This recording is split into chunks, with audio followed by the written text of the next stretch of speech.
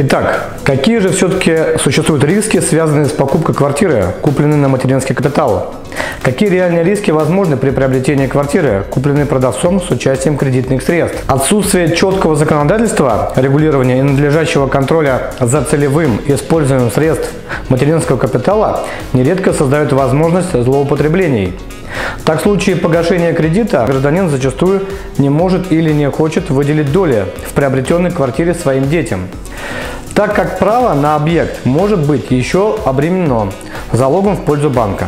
Как правило, залогодержатели, то есть банки, не дают возможности заключить соглашение о наделении детей долями до полной выплаты кредита.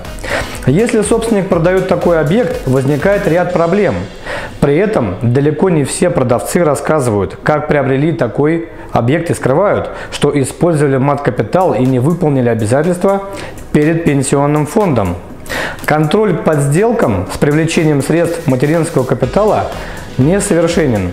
Будущий собственник не может самостоятельно, привлекая продавца, проверить необходимую информацию и сделать однозначно вывод о рисках при приобретении жилого помещения. Целевое использование средств материнского капитала контролирует прокуратура, которая может инициировать судебный иск как к родителям, так и к покупателям квартиры. В настоящее время судебная практика по таким делам только формируется и говорить об однозначности подходов пока рано.